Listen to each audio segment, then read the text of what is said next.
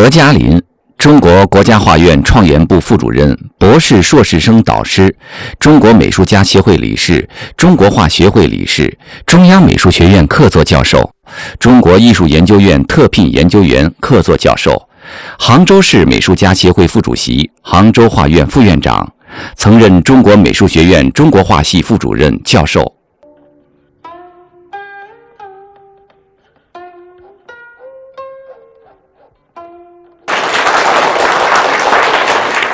这一节我们将把这张画继续深入下去啊，接着上一节我们继续啊，把它慢慢的啊深化。那我们在画这个啊黄土坡的时候，有的时候需要一些可度啊，但是呢也需要一些润度。现在的这个这个黄土坡真的不像原来，现在还是啊有一些水分的感觉。啊，我们在画的时候，啊，一定啊要在这方面要把它找到啊，找到一种感觉啊。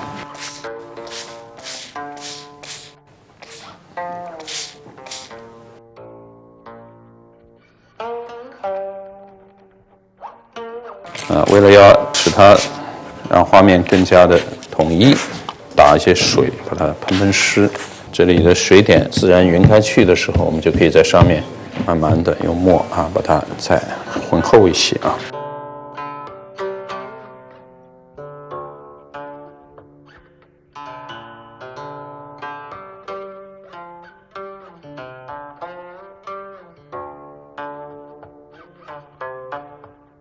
要敢于在上面用墨。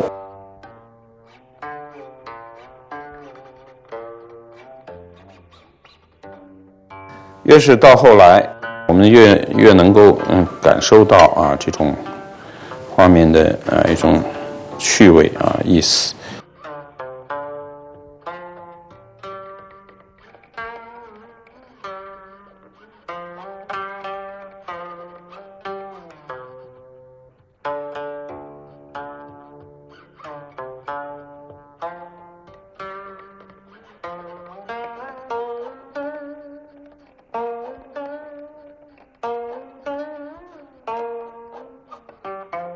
画的时候，我们一定要有想法啊，有想法。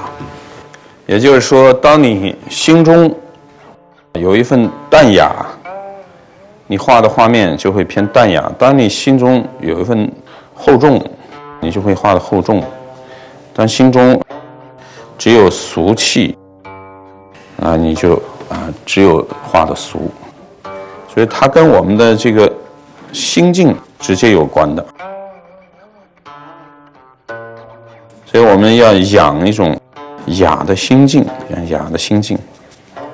雅的心境怎么养呢？一方面我们要读书，这是必须的。你读书你就明白啊，什么东西是可追求，什么可以放弃的，是非常重要啊。我们有时候画画画不好，并不是他技术不行，你要问他平时自己的追求是什么，他的价值观是什么。以及包括他做人的方式，如果他做人都不是在这方面很有要求的时候，那画出来东西怎么能雅呢？所以对我们来说，这画画是个雅啊雅文化，它不是一个俗文化。但是你要把它画俗了，那就麻烦了。但是呢，作为我们初学阶段，人家会问：那我们怎么技术都没有，怎么去画俗或雅呢？实际上，我就想啊。即便是初级阶段，你画的不好，但是你可以画的淡，画的淡，颜色少用或者用的很淡，它就不会俗。如果我们一开头颜色用的很浓烈啊，用的很浓烈，那么它就会偏俗。有的时候可以这样去慢慢的培养，因为刚入画的时候，你画的颜色浓烈，不见得就是你这个人俗，是吧？那是因为你没有掌握，不了解。但是呢，一开头你总是喜欢什么东西很重要，可能你喜欢颜色浓的，那说明你平时人不一定俗，但是你可能审美上俗。学到一定的时时候，如果你画的还俗的话，那是跟人有关了，跟审美真是没有关系，可能你就喜欢那个。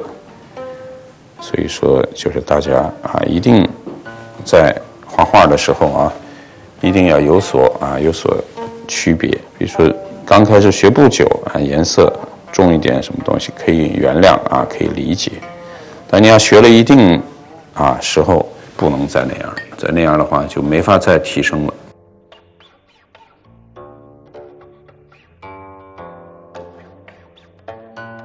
你看，我们要在这个墙根这儿。画一些小的杂树，这些杂树呢，确实在北方特别多。北方的那些杂树，基本上都是什么枣树啊，还有那种荆棘、小的槐树。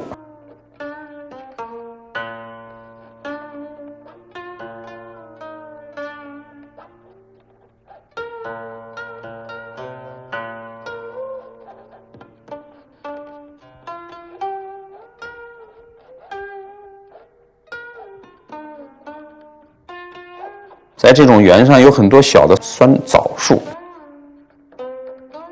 小的酸枣树，那小的酸枣树那个枣子不大，它那个树带刺儿，所以说我们在画的时候也可以在一些地方画进去，因为是到最后，最后我会在一些地方适当的补一些酸枣树进去。这个季节酸枣树肯定。都已经没枣子了，但是在秋天的时候，它还是有一些啊枣子可以可以去去品尝，带刺儿的啊，那不是一般能够能够能够采得了的。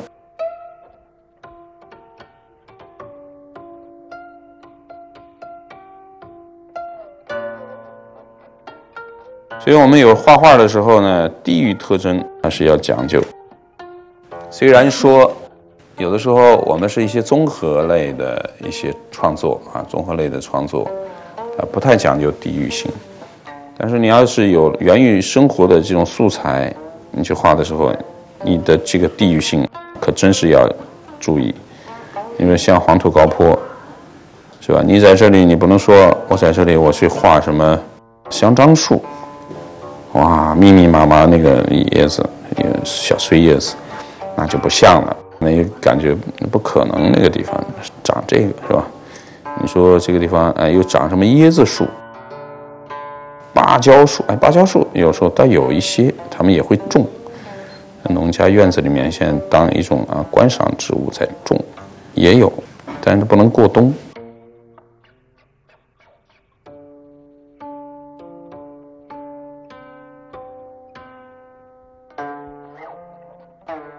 所以呢，这个不同的这个树种也体现了它的地域特征啊。我们在画的时候一定要留意。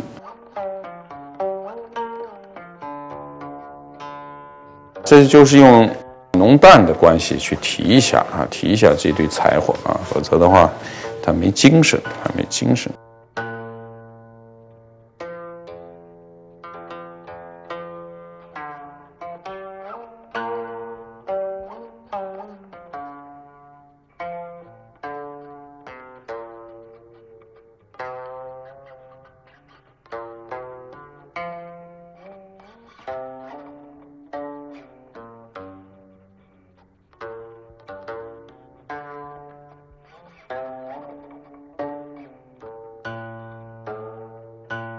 北方的这个槐树，开春的时候开花，好漂亮，白的，可以吃。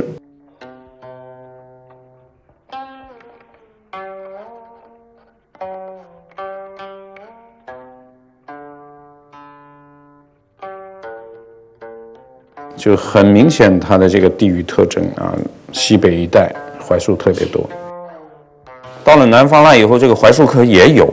啊，也有，它会长得不一样。我们可以在南方看到一些槐树科，它的那个开花，最后那个花是绿的，花是绿的，很小，不像北方这个白的那个花开的很大很大。这槐树画到这儿，基本上啊也把它也把它，主要是过渡啊，不是说为画什么树而画。其实我们画上面实际上是一种啊审美的过渡啊，一种审美的过渡。呃，所以说不要揪它的这种树种啊或者怎么样。但是那边基本上是这些树比较偏多一点啊，所以在画的时候啊，大家还是要有所选择啊，有所选择。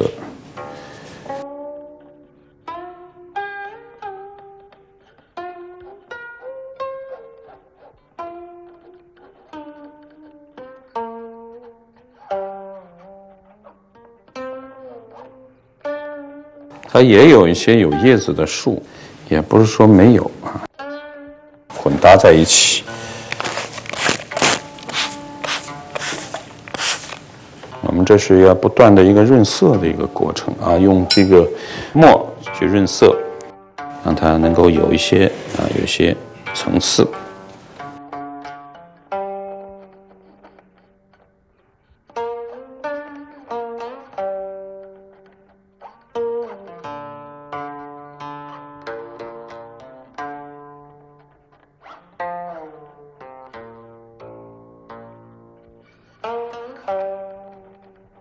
一切啊，是为了这个院子啊，为了这个庭院而设置。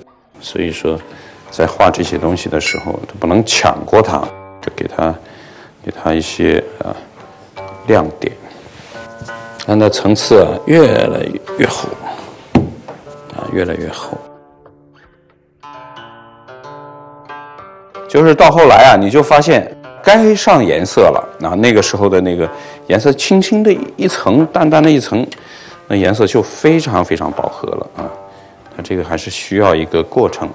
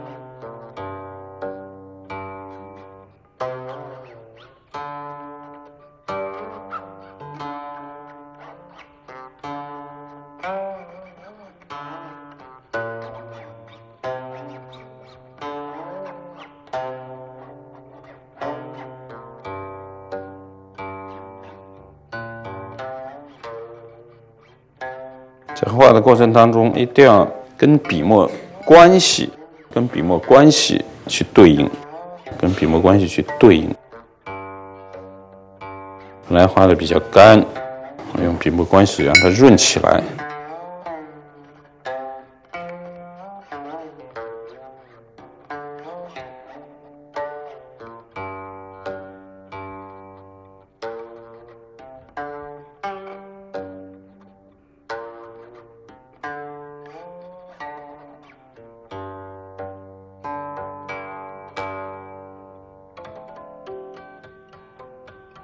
这种细节的地方，学会让它丰满，但是呢，还精到。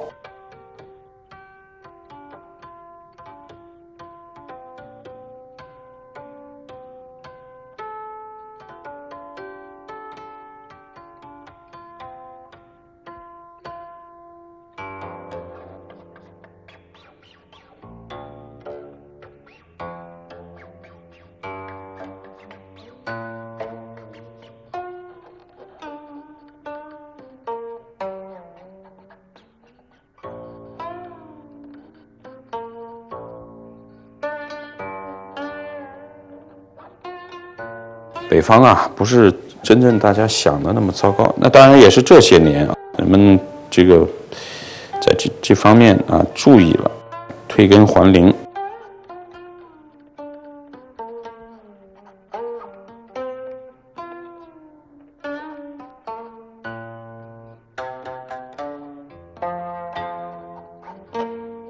在画这些东西是一定一定要不断的去经营，因为之前我们有很多可比在里面了啊，有很多可比很多干的东西在里头，我们不断的往上面加东西，一会儿加这种擦，一会儿呢又加那种破笔皴点，但破笔皴点呢又是相对比较淡，水分比较有一定的，所以说它不会显得。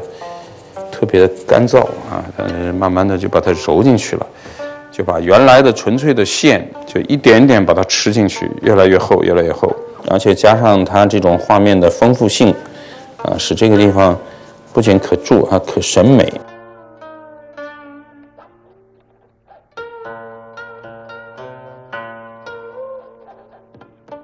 就有时候画面不大，要把那个气给它做大啊，这个也是很重要的啊。气场给它做大。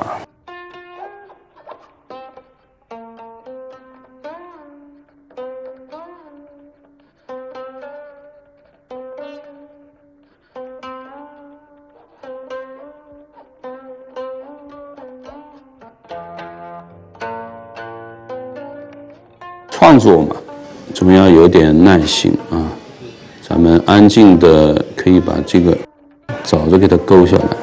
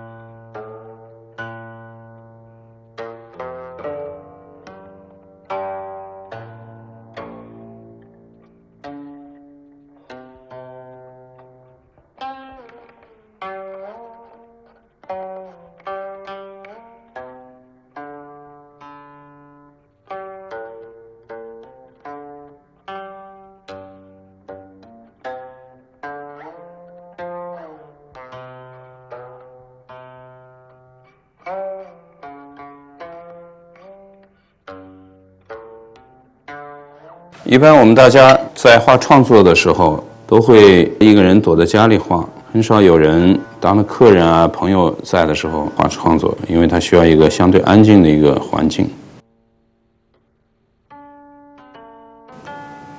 但是我们其实有时候也要学会，就是说画画创作啊，也能够放下那样的一部分的这个隐私心理啊，也可以适当的啊，有客人啊朋友在的时候去画，虽然受一些干扰，但是他也锻炼你，锻炼你什么呢？锻炼你能够在那样的一个情况下，自己能够掌控画面的一种能力啊，以及包括你的一种专注度，我觉得也是一个很有意思的一件事儿。在这种比较淡的地方啊，画的时候就不能画太浓，差不多就可以。但是也要注意疏密啊，这个比较密啊，这个就比较疏。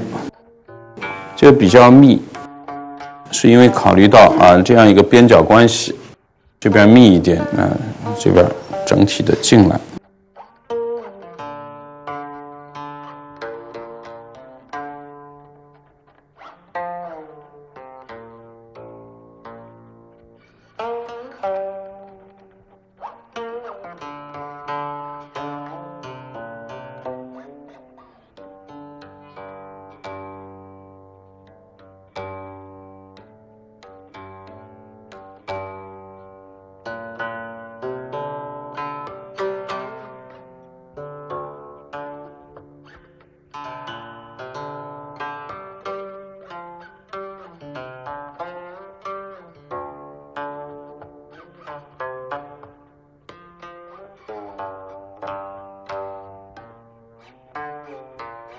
这样画一些槐树。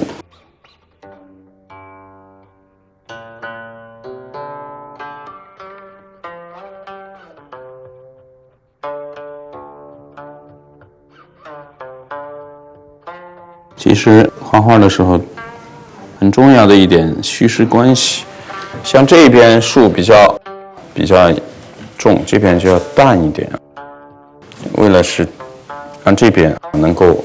成为一个视觉中心，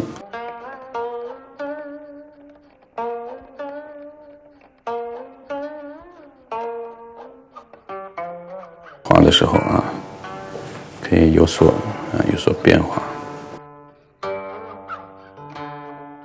在画这些树叶的时候，也要考虑到疏密的布局，考虑到疏密的布局。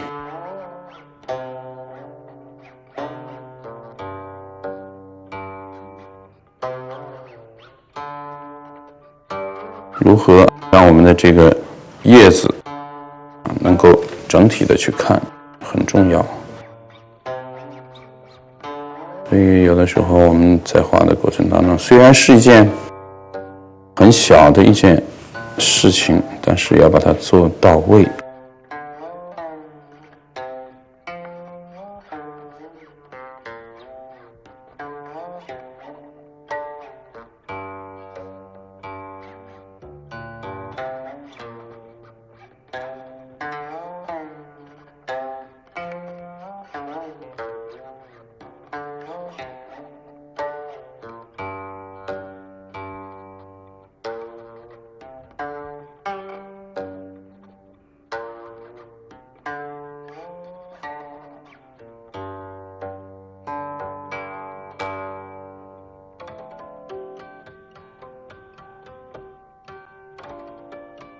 实际上，在画的过程当中，整体的看一下，当然还要考虑到啊，它这个树的一个形态，这个树的形态很重要啊。像这个叶子一样长到这儿去，让它这个里面能够支撑一下。接下去我们要把这上面几棵小枣树给它处理掉。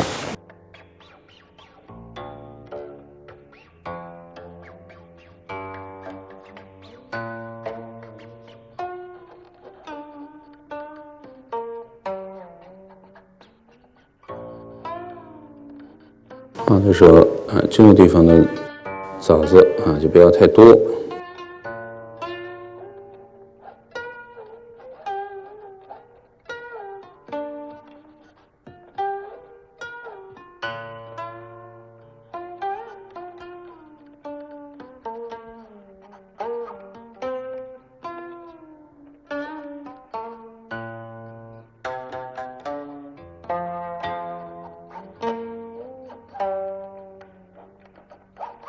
大部分都跑到这儿去了，所以。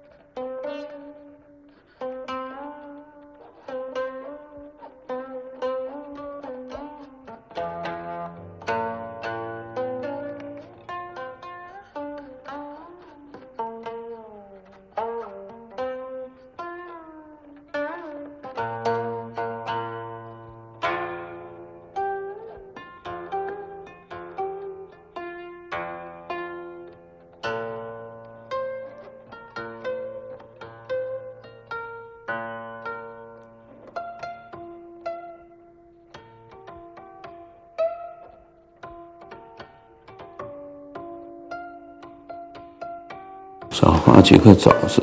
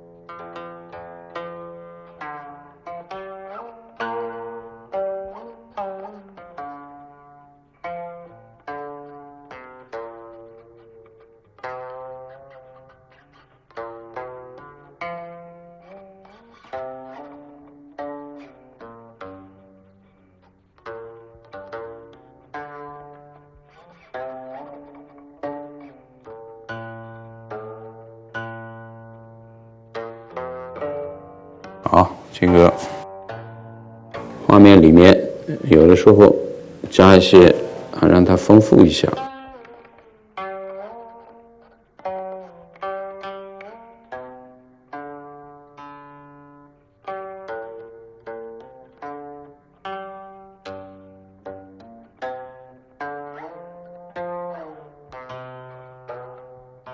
这些小的枣树。显得明显嫩一点啊，明显嫩一点，像这个势啊，就基本上都赢过来了，很重要，这个很重要。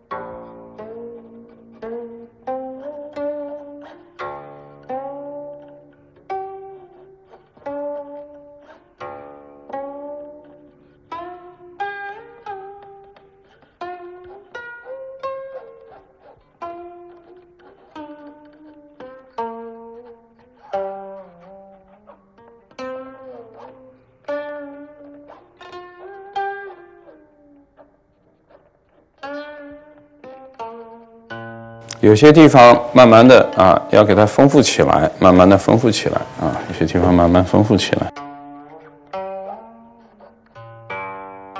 哎，有一些其他的树啊，它也不是说完全都是这几种，可以把它啊变化一下。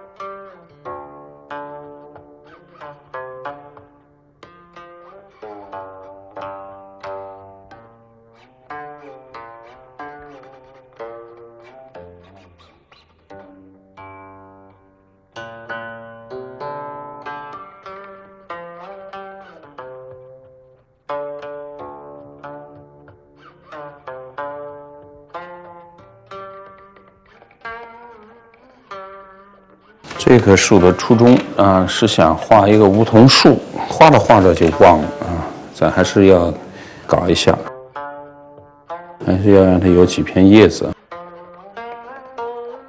虽然是叶子也落的差不多了。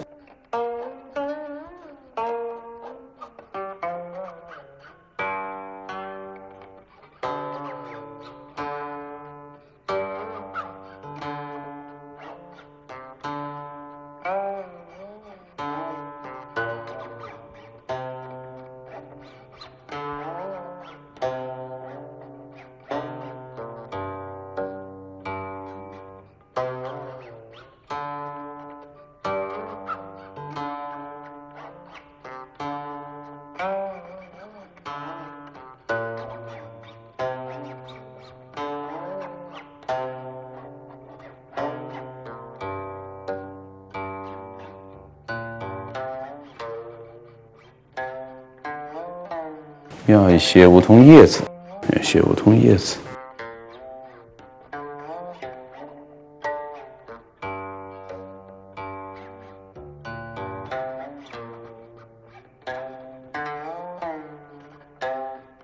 所以这些细节要有一些进去，没细节就不好玩了。有些细节还是要需要捕捉进去。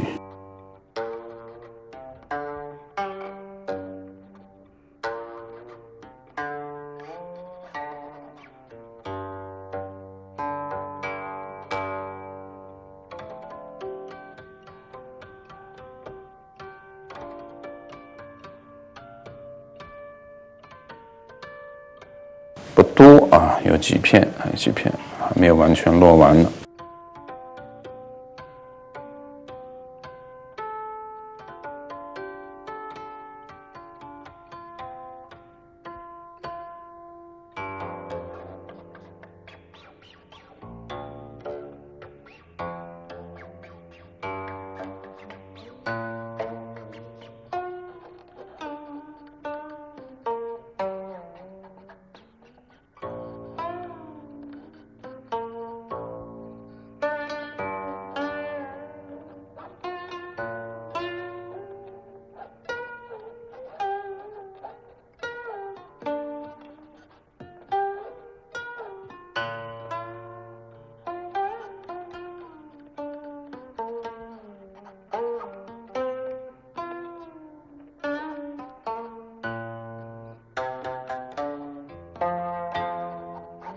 那这些地方来一些这种带刺的这种枣树，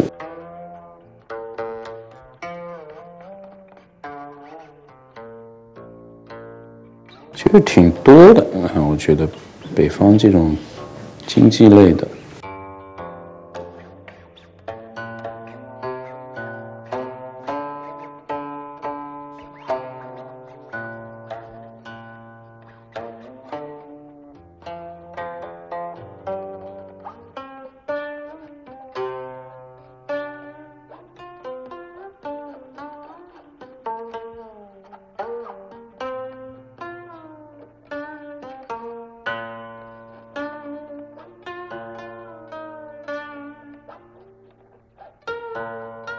我们的生活阅历有的时候非常重要啊，生活阅历非常重要。我们平时去过哪些地方啊？有时候勾勾速写啊，有时候要记一下，记录一下，至少记在心里面，留个意。想想看，我以后画的时候，我怎么能够把这些个东西啊给它表现进去？这样的话才有意思，有些地方才没有白去。所以这些呢，都是我们平时生活当中大家要留意的东西。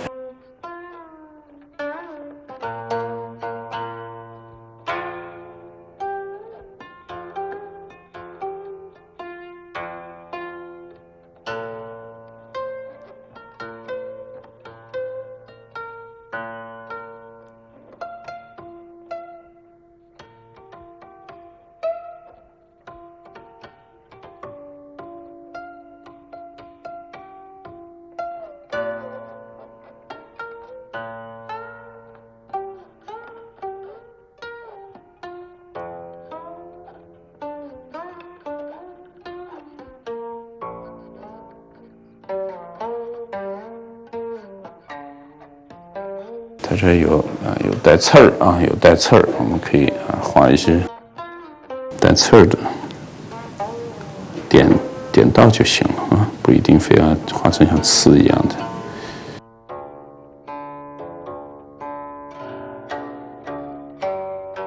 这种树其实，在我们的宋画里头也常见啊，宋画里头也常见。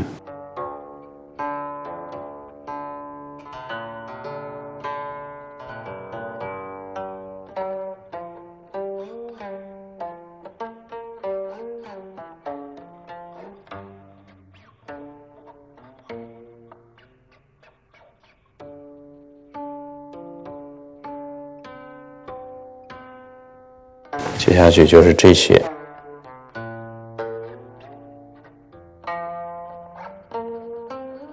啊，要让它丰富起来。单是几个树这么简单，它也有隐隐约约的其他的啊，一些杂草啊，啊，或者一些杂树，我们看不见，把它虚掉，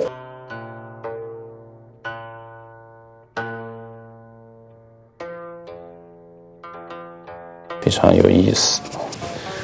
的画面丰富起来啊，是为了使我的这个里面带点啊水汽。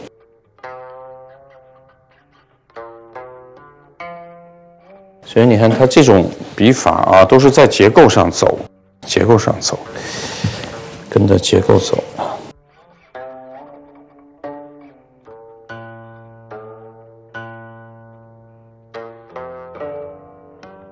淡啊，很淡。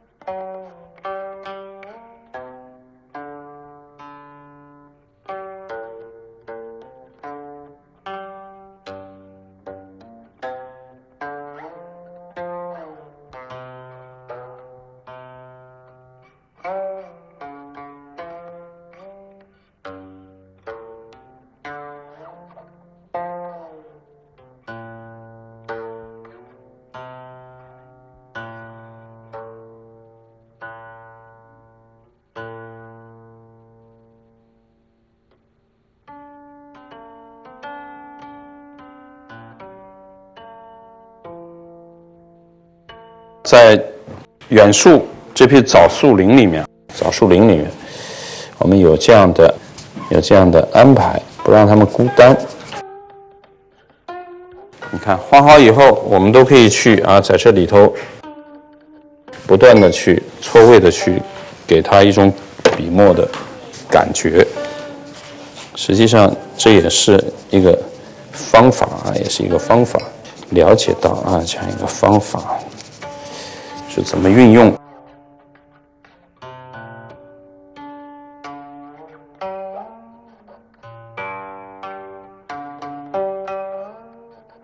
别看这样几乎像清水一样的，其实水它也不是纯纯的白白的干净的水，这水都有淡墨啊，在里头反复的用笔行笔运进去，使这个画面最终能坐住。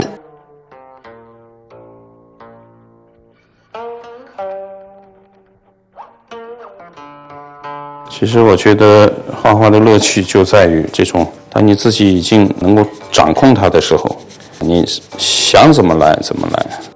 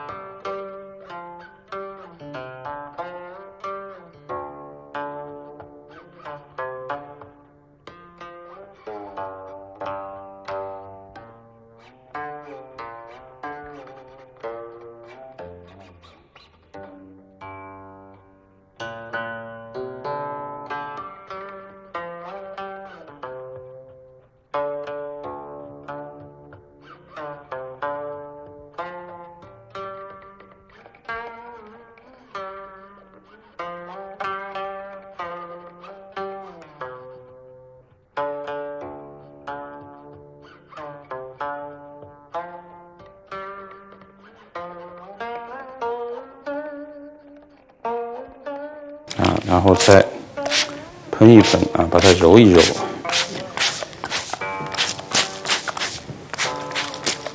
整体的再看一遍啊，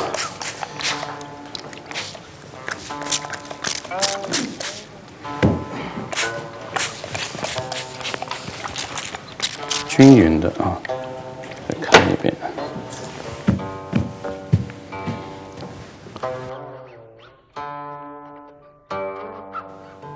那么这一节，我们把山石还有一些树啊，基本上啊，把它处理在一个基调里头了。这个对我们接下去深入不断的完善啊，先打好一个坚实的基础。所以呢，我们这样的方法，希望大家在画画的过程当中可以去学一下啊，就是一开头先是线，然后。